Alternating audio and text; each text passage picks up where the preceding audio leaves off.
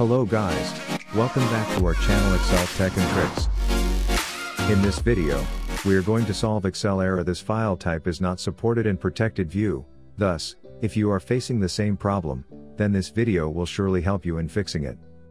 But before heading towards the solutions, make sure to like and subscribe to our YouTube channel. Now, let's move on to fix this file type is not supported in protected view error using 7 fixes. Solution 1. Rename the file or move Excel file to a new folder. The first solution you can try to fix protected view error is by shifting the file to another folder and then saving it with a new name. To do so, go to the location where your faulty Excel file is saved. Then, left tap over the folder and change the file name. Besides this, you can also try saving your affected file to another new folder and then try opening it.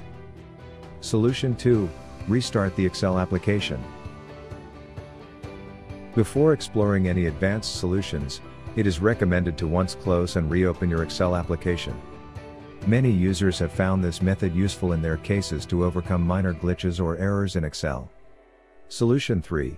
Update the Excel app to the latest version.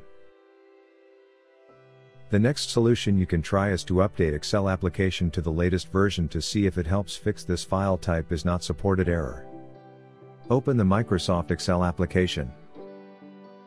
Click the Account option. Click Update Options. And click Update now to check for updates for the Office app and update it to the latest version. Solution 4 Use Open and Repair tool. The Open and Repair is a built-in Excel tool that allows you to repair the corrupted Excel workbook and solve protected view error. To run this tool, you have to Ensure to close all the Excel files. Open the Excel application. Go to the file. Then open. Under the dialog box that opens, click on the Browse to choose an Excel file that is showing this error.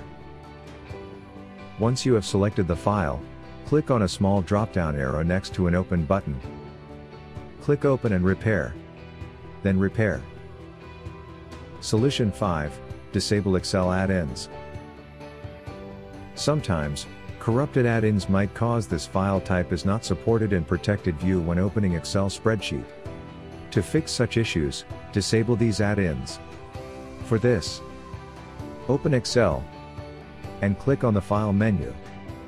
On the left panel, click on Options. In Excel Options, click on Add-ins.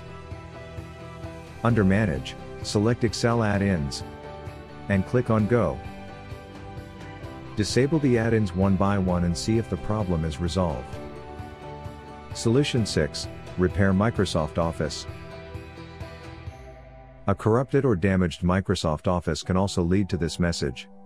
You can fix it by repairing the Microsoft Office files. For this, you have to Close all running MS Office programs. Then, Open the control panel. Click Programs. Then Programs and Features.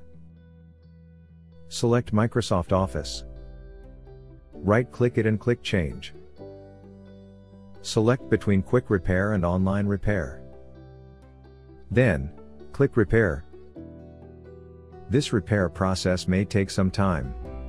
Once done, check your Excel program and files for the error. Solution 7 Use Excel Repair Tool. If you are looking for a quick way to resolve this file type is not supported in protected view, then you can download the Excel Repair tool by clicking on the link given in the description box. This software is designed with an advanced algorithm to repair all sorts of damages, corruption, and errors in the Excel file.